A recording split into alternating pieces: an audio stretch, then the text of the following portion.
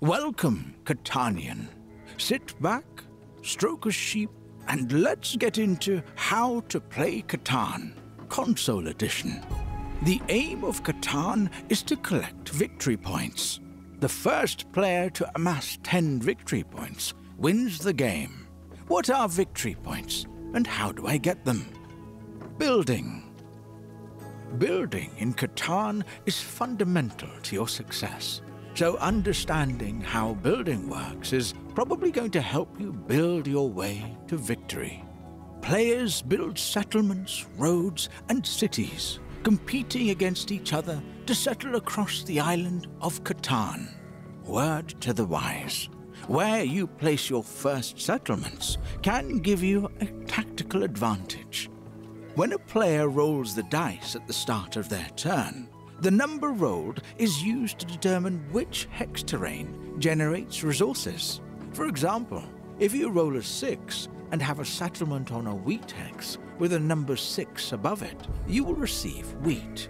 Players gain one resource for each settlement and two resources for each city. When you've gathered the resources you need, you can build. You build by paying the cost shown on the building cost card. The resources used are then returned to the bank. You can build roads adjacent to any settlements or cities you have, or next to your other roads. If you build a road of at least five lengths, you will earn the reward Longest Road, which is worth two victory points. Nice. Beware though, another player can take those victory points from you if they then build a longer road than yours. Sad times. Settlements can be built on the intersections between hexes, but must follow the following rules.